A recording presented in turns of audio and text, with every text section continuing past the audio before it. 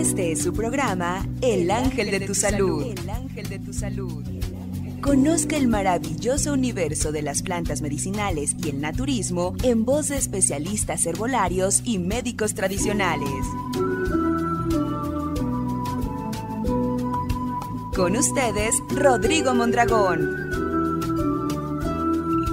¡Comenzamos!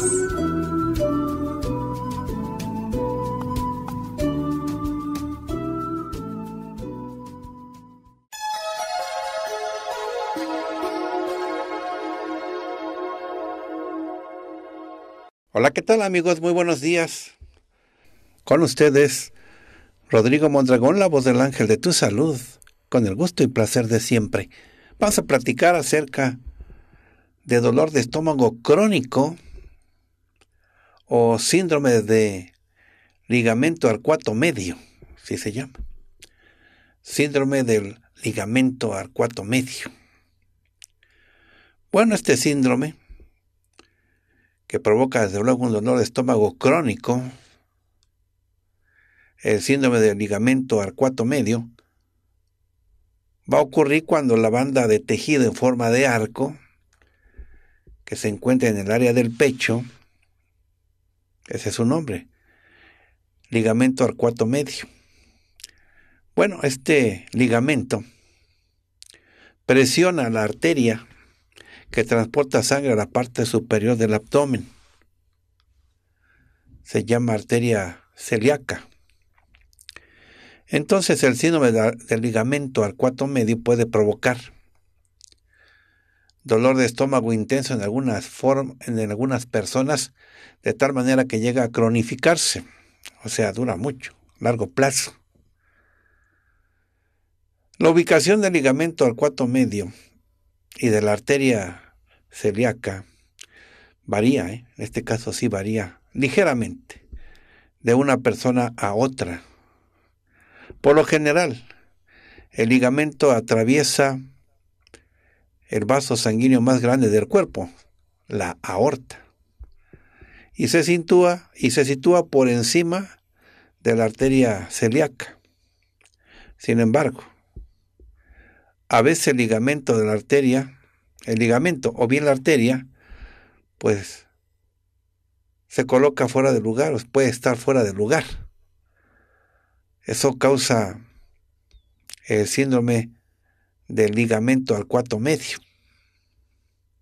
Ahora, el ligamento también puede ejercer presión sobre la red de nervios que rodean la arteria celíaca, o sea, el, plazo, el plaxo o plexo celíaco. Bien, el síndrome de ligamento arcuato medio puede presentarse en cualquier persona, incluso en niños. Tiene otros nombres también que le designan a este tipo de situación o manifestación orgánica. Compresión de la arteria celíaca también se le puede llamar así o síndrome del eje celiático, también se le puede llamar así. Bien, vamos a los síntomas. Hay ocasiones en que la compresión de la arteria celíaca, pues no, no causa ningún síntoma. Sin embargo, en algunas personas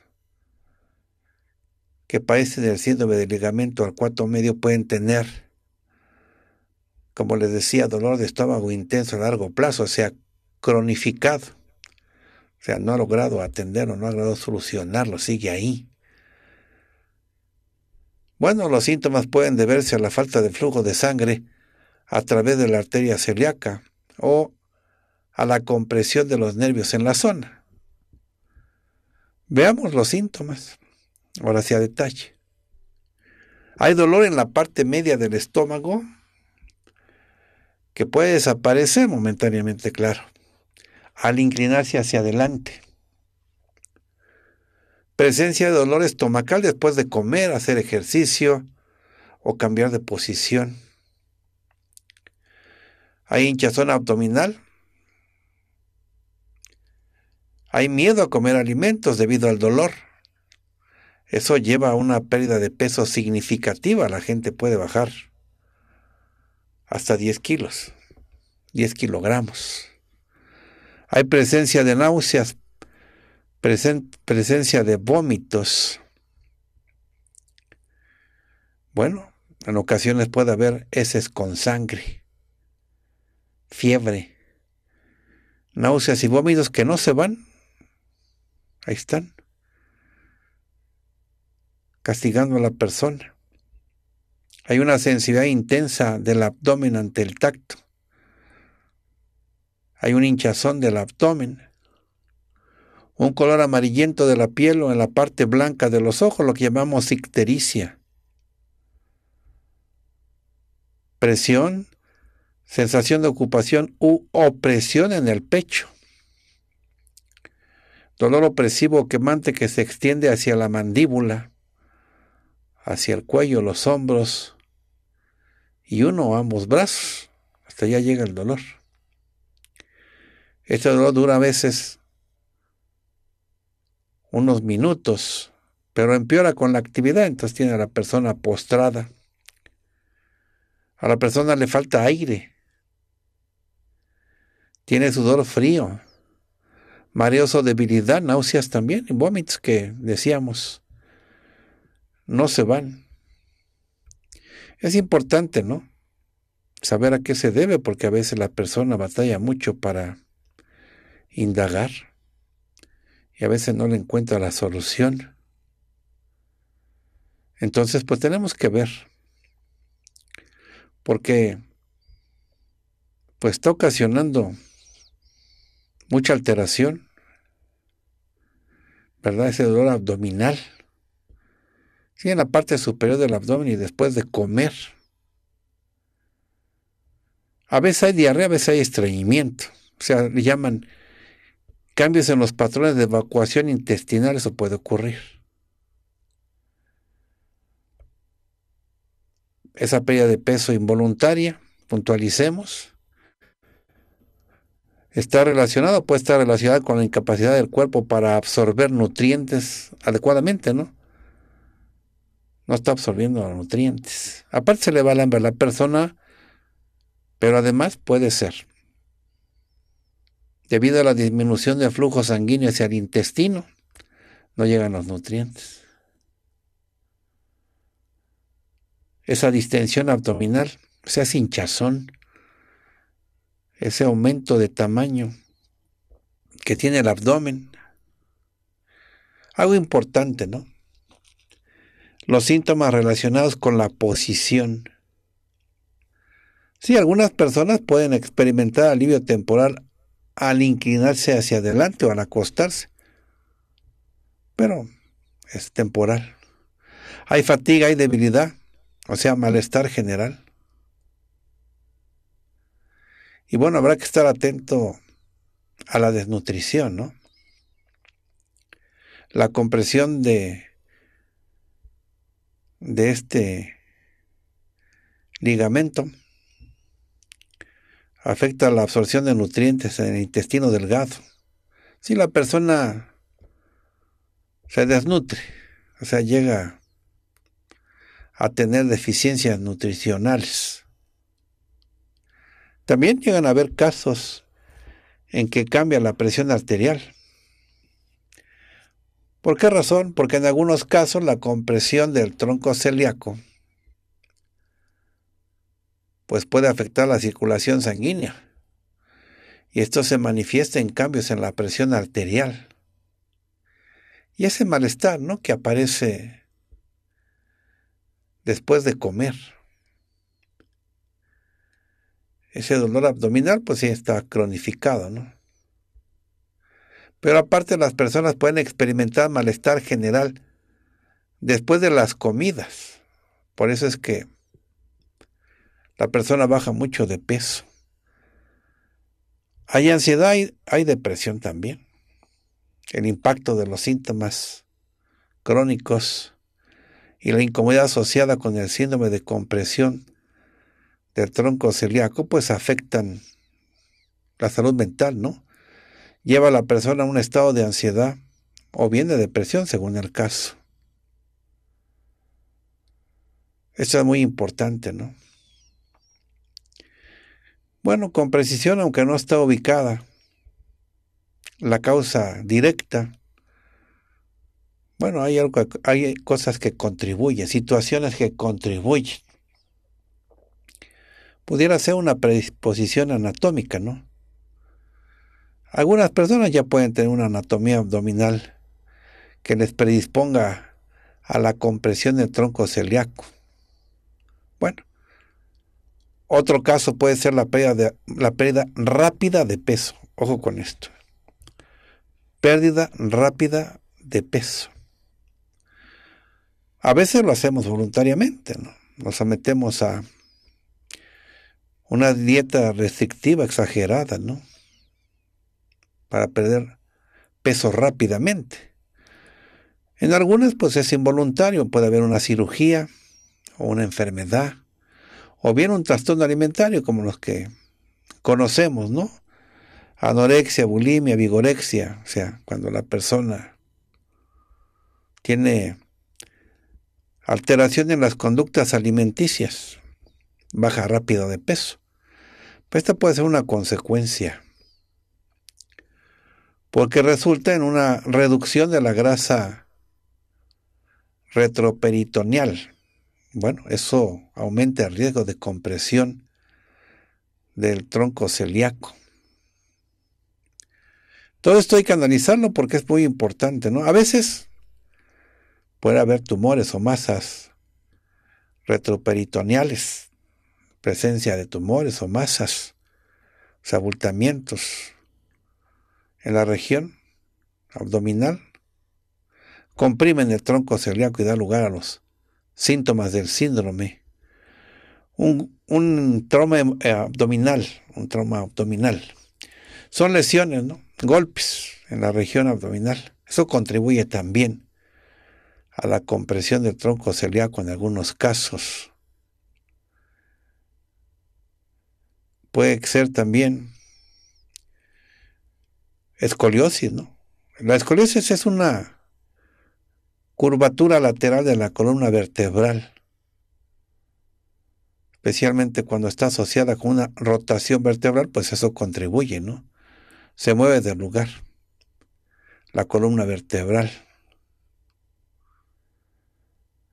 Eso es importante considerarlo, ¿no? Cambios hormonales también influyen. Están asociados con la pubertad o el embarazo influyen en la posición y relación de las estructuras abdominales. Hay que ver los factores, ¿no? Ya vimos algunos. Puede ser la anatomía individual, ¿no? Algunas personas pueden tener una disposición anatómica que predisponga. Puntualicemos en la pérdida de peso cuando se hace de manera rápida y significativa. A veces es cambios hormonales. Ah, también importante recordar, ejercicio extenuante o actividad física intensa, o sea, ir más allá del límite. Extenuante, exagerado, innecesario, ¿no? Algunas actividades físicas extenuantes pues afectan la posición y presión sobre, sobre el tronco celíaco, sí, especialmente si se realizan de manera intensiva. A veces hay enfermedades inflamatorias o bien fibrosis, condiciones inflamatorias crónicas como pancreatitis, inflamación del páncreas, bueno, eso afecta a las estructuras, aumenta las probabilidades de la compresión. Bueno, vamos al corte, regresamos.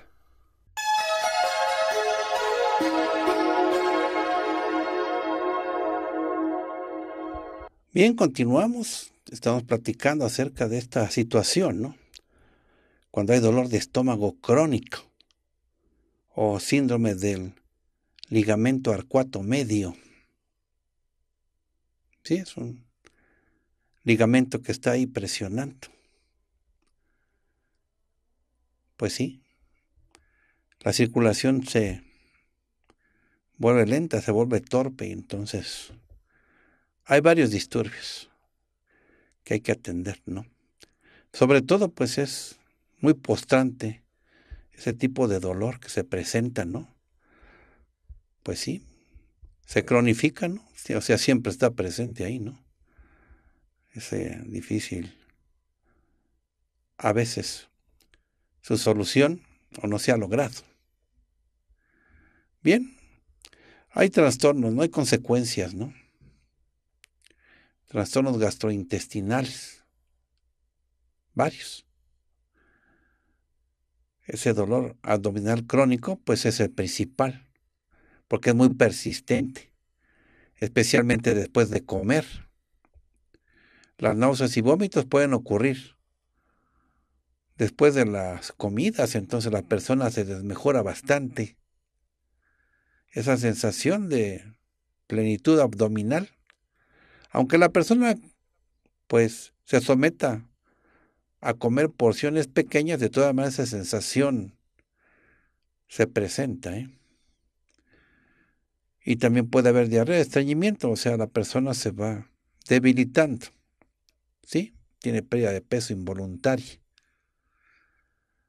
¿Por qué? Porque hay dificultad para comer debido al dolor esa sensación de plenitud, pues contribuye a la pérdida de peso. Se desnutre la persona.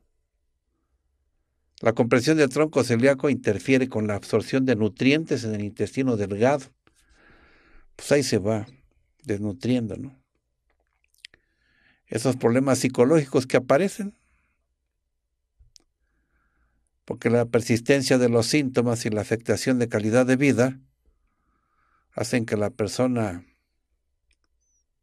pues padezca problemas emocionales como la ansiedad y la depresión. Hay complicaciones vasculares. Porque en casos más graves la compresión prolongada puede afectar la circulación sanguínea hacia los órganos abdominales. La función no es esa. Pero como está la compresión apachurramiento. Pues finalmente hay problemas con los órganos abdominales porque no reciben bien su oxigenación a través de la sangre, sus nutrientes. Hay un impacto fuerte en la calidad de vida, ¿eh? consecuencia de esta situación.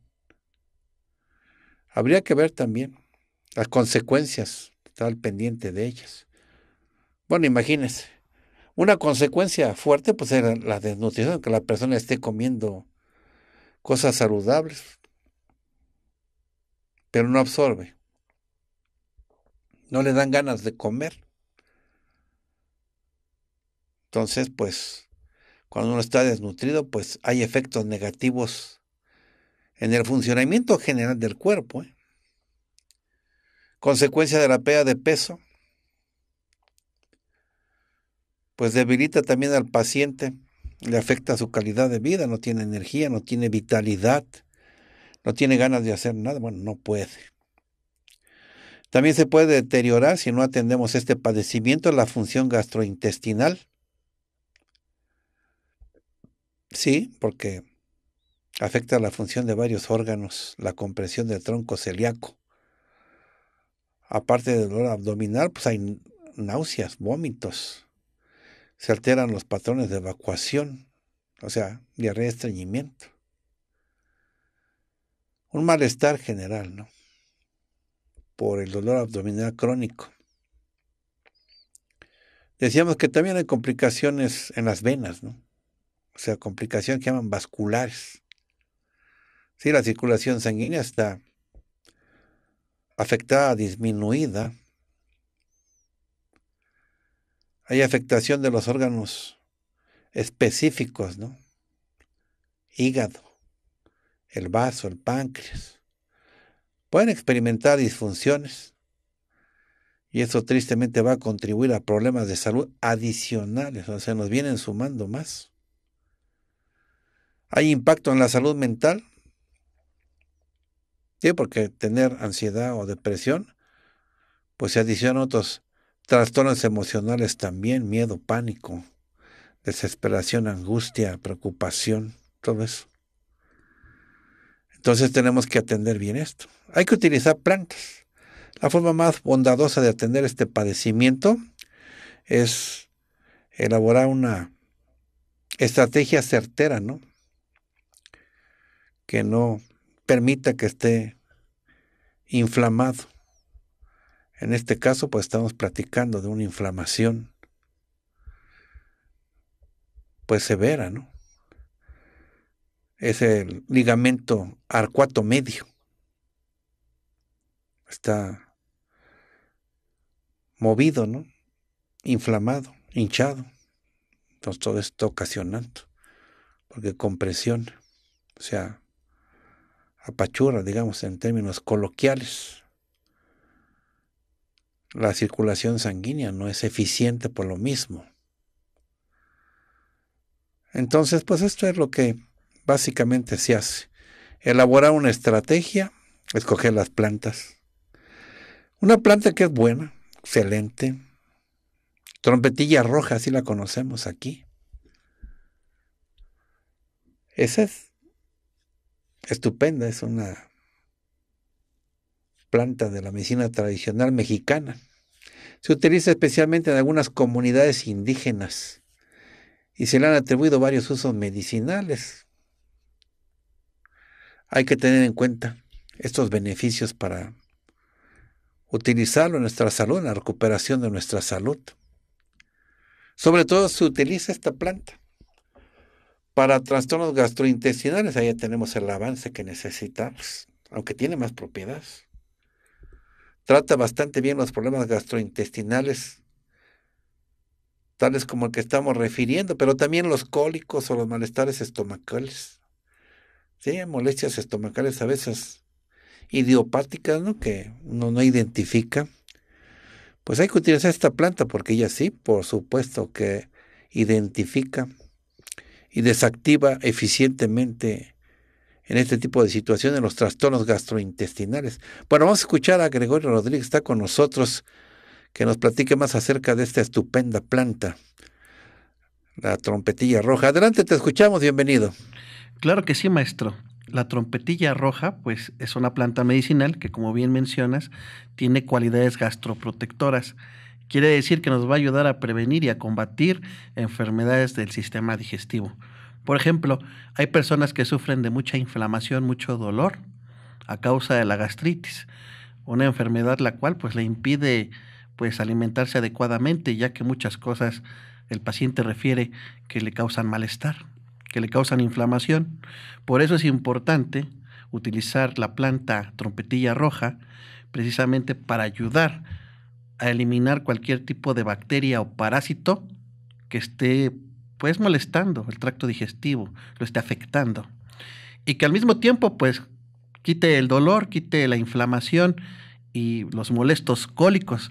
Y la trompetilla roja tiene excelentes propiedades para eso. Incluso por medicina tradicional se utilizó ampliamente para tratar problemas relacionados con la diarrea, ya que esta planta presenta cualidades también astringentes, lo que quiere decir que va a ayudar a detener la molesta diarrea. En el pasado se utilizó en infecciones graves como la gastroenteritis, en donde el paciente pues también sufre de diarrea con sangre.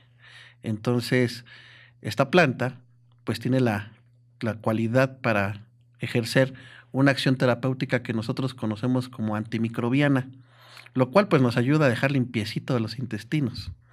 También es importante destacar que la trompetilla roja es excelente para relajar los nervios. La trompetilla roja también ayuda a quitar el dolor de cabeza, ayuda a que el paciente que sufre de problemas emocionales pues se relaje, eh, le quita la ansiedad, le, le ayuda a quitar el miedo, el temor. Por ejemplo, en el Estado de México se utiliza en la medicina tradicional para ayudar a evitar la adicción. ¿sí? Existen plantas que tienen la cualidad de ayudar a las adicciones. Sobre todo se han utilizado para combatir la adicción al alcohol. para combatir el alcoholismo. Entonces la persona muchas veces pues no solamente tiene sus nervios alterados, sino también tiene problemas nerviosos, por ejemplo, no puede dormir, entonces hay que darle una planta sedante, una planta relajante, que tenga esta cualidad de la que estoy hablando, antiadicciones. Y la trompetilla roja pues la manifiesta, ya que ayuda a fortalecer al paciente y a fortalecer también su sistema nervioso.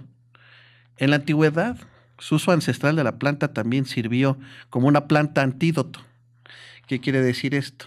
Que, por ejemplo, en aquella época, alguna mordedura de serpiente, alguna picadura de algún animal ponzoñoso, pues el médico tradicional inmediatamente utilizaba esta planta con esta propiedad antídoto para precisamente combatir el veneno, combatir la ponzoña y ayudar a que el paciente pues se recuperara. En la actualidad, esta capacidad que tiene la planta para depurar la sangre, pues es muy útil, ya que relativamente seguimos envenenándonos ahora con químicos, con contaminación, ¿verdad? Pero sigue sucediendo. Hay personas que se exponen a algún químico y presentan dificultades para respirar, presentan alergias, presentan malestar. Entonces la, eh, la trompetilla roja la vamos a utilizar en forma de cocimiento y la vamos a beber para depurar perfectamente bien la sangre. Es una planta con muchas cualidades, incluso las personas que son diabéticas lo pueden utilizar para ayudar a reducir los niveles de glucosa en la sangre, ayudar a limpiar los riñones y desde luego pues tener una salud óptima. Esta planta es muy interesante ya que se ha estudiado en Estados Unidos e incluso aquí en México, en el Instituto Politécnico. Hay trabajos en donde se está investigando acerca de sus cualidades anticancerígenas. Esto ya, ya lo habíamos manejado en la medicina tradicional como una planta anticancerígena y también que ayuda a prevenir cáncer. Sin embargo, pues se ha descubierto que la planta pues ayuda a desacelerar el crecimiento de las células cancerígenas, sobre todo la generación, ya que tiene la propiedad precisamente de dificultar el proceso de cáncer a las células madre malignas, porque también existen, y esas son las que van controlando el crecimiento de la tumoración. Entonces podemos utilizar esta planta para combatir los tumores. Por ejemplo, en el caso de algún tumor gastro, en el sistema gastrointestinal, por ejemplo, hablando de una persona que tiene un tumor en el esófago, le puede ayudar a evitar que ese tumor siga creciendo y también le puede ayudar porque tiene una propiedad muy especial la planta. Ayuda a evitar el vómito de sangre que procede del sistema gastrointestinal. Por lo tanto, pues esta planta tiene importantes eh, propiedades para fortalecer el cuerpo. Es una planta que es conocida porque aporta energía, porque de verdad la persona se fortalece. Y bueno, pues eso sería todo, maestro. Bien, vamos al corte, regresamos.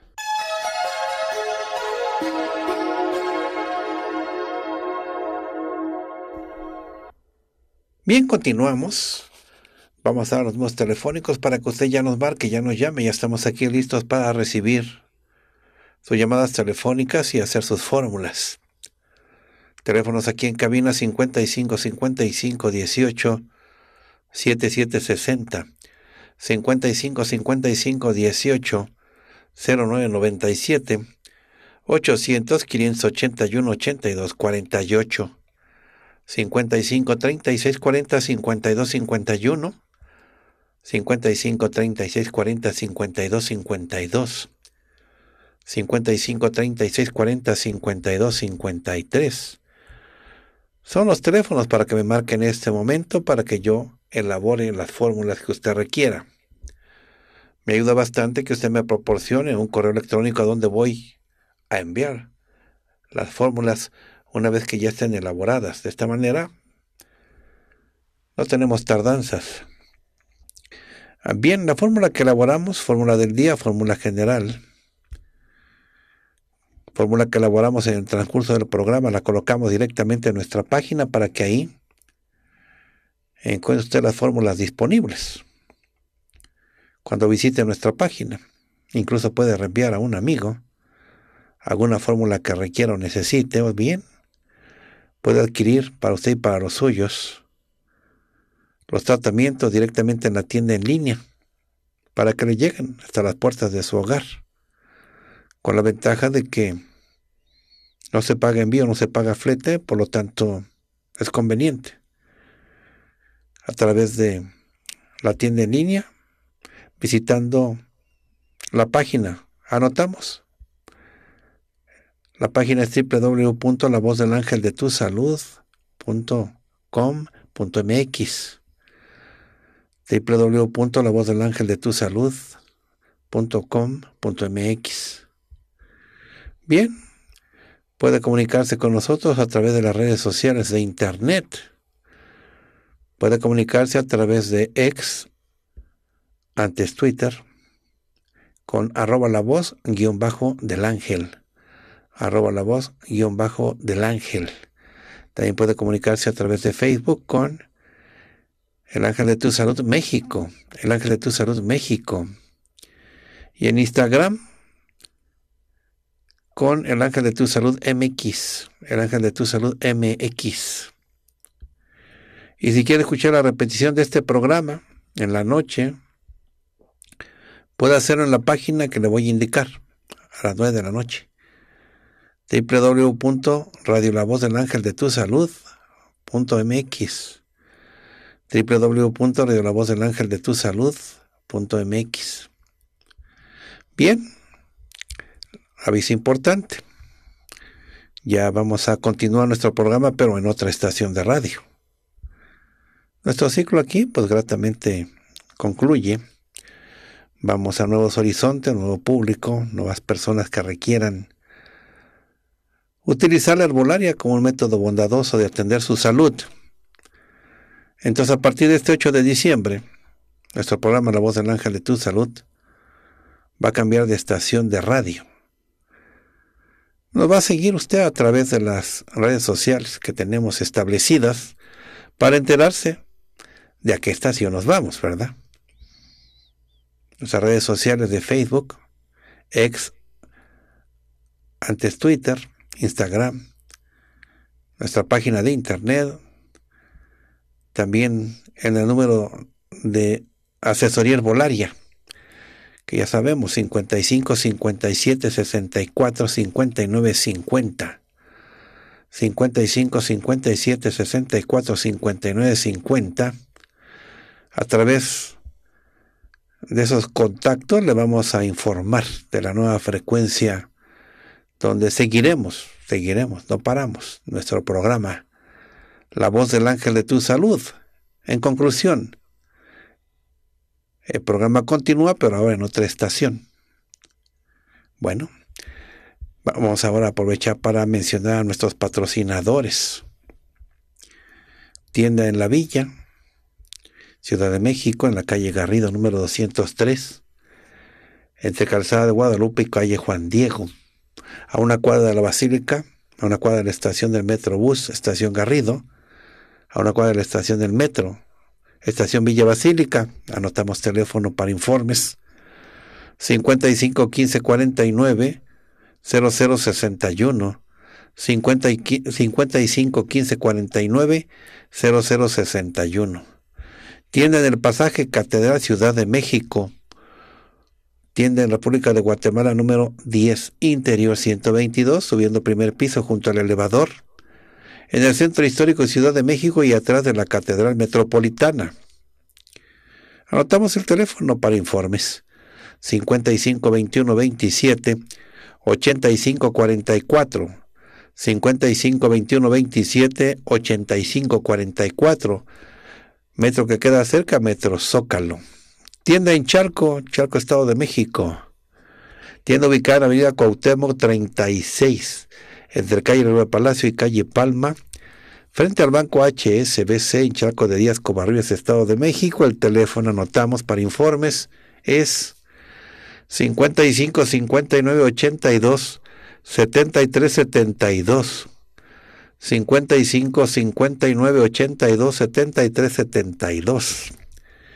En Texcoco, Tienda autorizada en Texcoco, Estado de México, Nicolás Bravo 214, subiendo primer piso, Colonia Centro, entre Fray Pedro de Gante y Leandro Valle. A una cuadra de la Catedral, en Texcoco, Estado de México, está frente a Coppel. El teléfono, anótelo. 59 56 88 67 76. 59 56 88 67 76. En Naucalpan, tienda autorizada. En Avenida Gustavo Vaz, número 4A, en San Bartolo, Naucalpan, Estado de México, frente al Salón de Eventos Flamingos. Tomamos nota del teléfono para pedir informes 55 53 57 24 74 55 53 57 24 74 bueno, son los contactos con nuestros patrocinadores. Ahí también pueden preguntar, ¿verdad? ¿A qué estación nos vamos a mudar para Nuevo Horizonte, nuevo público? que necesita escuchar acerca de los usos tradicionales de las plantas medicinales, lo cual es nuestra misión y nuestra labor que hacemos con mucho gusto. Bueno, vamos al corte, regresamos.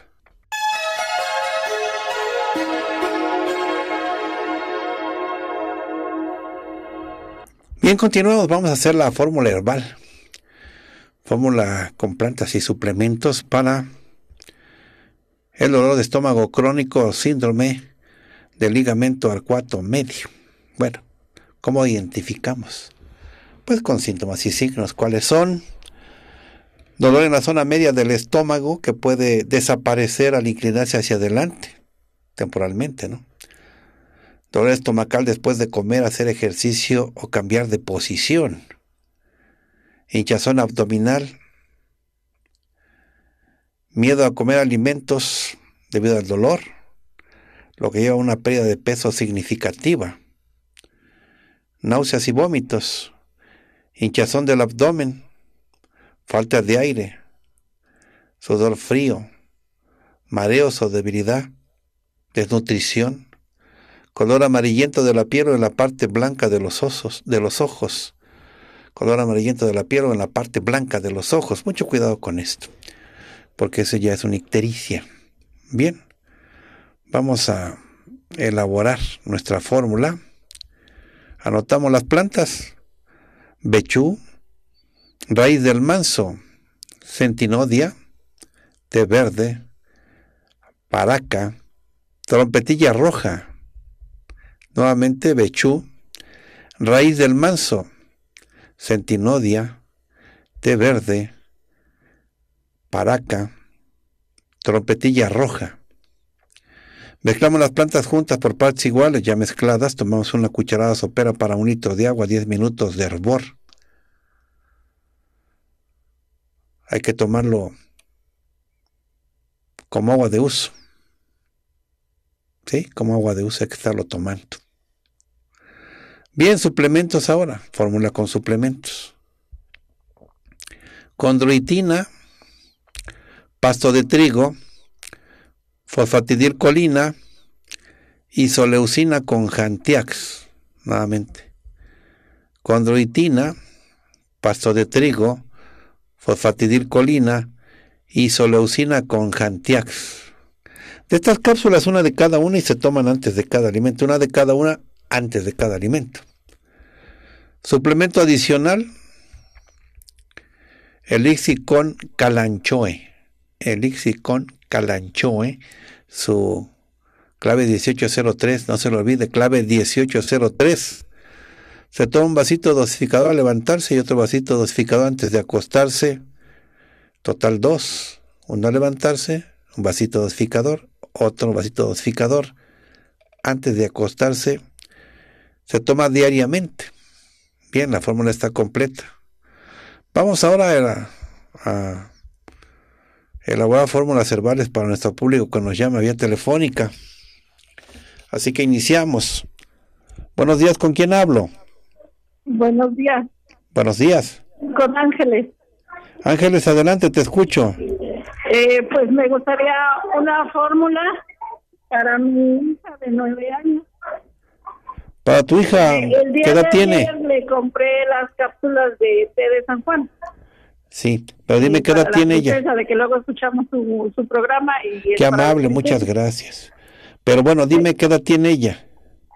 ¿Perdón? ¿Cuántos años tiene ella? Nueve años, Nueve años. sí. Bueno, ¿qué tiene? ¿Qué le sucede? Eh, mucha tristeza, se la pasa durmiendo, nada más regresa de la escuela y quiere estar duerme, duerme, no quiere comer. Sí, duerme mucho, con Sí, tristeza. y se enoja por todo y pelea con su hermana. Peleonera. Sí, ¿Qué más? Eh, se la pasa pensando en, en el papá que no está con ella. Bueno, ¿qué otra cosa? Este, no, no come, en las mañanas se va de malas a la escuela. la ¿No escuela come también- Eh, ¿Cómo? ¿No come bien? No, no come bien. ¿Qué más? Este, pues todo le molesta, todo, por todo se enoja, no, no le gusta ayudar en nada, no la motivas en nada para salir. Este, Sí. No le gusta ir a las fiestas, siempre está encerrada en su mundo por, por su tristeza. ¿Duerme bien? ¿Cómo? ¿Duerme bien? Sí, sí, de hecho, De más, ¿verdad? se la pasa durmiendo, se pasa Pero de en la noche me refiero. Eh, ah, sí, sí. También. De repente en la noche se levanta y pues uno está durmiendo, agarra el celular y la ve en el celular. Ah, bueno. ¿Qué otra cosa? Pues nada más. Bueno, estado de ánimo muy decaído, ¿no? Sí, Muy resentida, muy rebelde. sí, Sí, también para eso hay tratamientos correctos y adecuados. ajá. Entonces, el- separación, ¿no? Lo más impactante para ella, ¿no? Bueno. Vamos anotando qué vamos a ocupar. Utilizamos lo siguiente. Utilizamos rosa mosqueta, mora de árbol, pericón también, tila de bolita. ¿Qué otra más? La pequeña. La lentejilla, le va muy bien. Mano de mono. Es el tratamiento. Lo menciono de nuevo, rosa mosqueta, mora de árbol, es la hoja, ¿eh? Pericón, tila de bolita, lentejilla, mano de mono. Mezclamos las plantas juntas por partes iguales, ya mezcladas. Una cucharada sopera para un litro de agua, 10 minutos de hervor. La tiene que tomar después de cada alimento. Después de cada alimento. Suplementos. Levadura de cerveza. Espino álvar también. Con eso. Levadura de cerveza y espino álvar. Una de cada una antes de cada alimento. Me dio gusto atenderte. Bien, estuvimos platicando acerca de este problema, ¿no? Se presentan algunas personas y a veces no lo identifican por lo mismo, ¿no? A veces la persona pues está sufriendo, ¿no? Dolor de estómago ya cronificado, pero que también se le llama a este a este padecimiento síndrome del ligamento arcuato medio porque está inflamada Está inflamado ese ligamento. Hace presión, causa molestia, estorbo. Y hay que resolverlo. Sobre todo para que ya no se presenten los síntomas que son postrantes, ¿no? Si enflaquecen mucho a la persona, la desesperan. Sus emociones se ven, pues, alteradas. Entonces, la persona, pues, tiene que resolver esto con utilizando nuestras plantas son excelentes, una manera muy bondadosa de atendernos, utilizando las plantas. Así la persona ya puede descansar, dormir, sentirse a gusto, recuperar fuerzas pronto. Porque en la fórmula vamos agregando incluso plantas nutritivas, lo cual es muy importante a la hora de elaborar una fórmula, pues que tenga lo necesario la fórmula, que nutra, ¿no? Que, que el estómago, que tonifiquen las venas y que sea un analgésico estomacal, o sea que no esté doliendo el estómago continuamente. Así son las fórmulas, pues llevan varias plantas, varias acciones terapéuticas se tienen que conjugar para que el efecto sea certero. Ya nos vamos, gracias por su atención, gracias por su compañía. Gregorio Rodríguez, agradecemos tu participación, gracias. Gracias, maestro, hasta la próxima. Me despido con una frase de Winston Churchill. Un optimista ve oportunidades en toda calamidad. Un pesimista ve calamidades en toda oportunidad. Hasta luego, que estén muy bien. Este fue su programa El Ángel de tu Salud. El Ángel de tu Salud. El Ángel de tu Salud. El Ángel de tu Salud. Escúchenos de lunes a viernes por esta estación.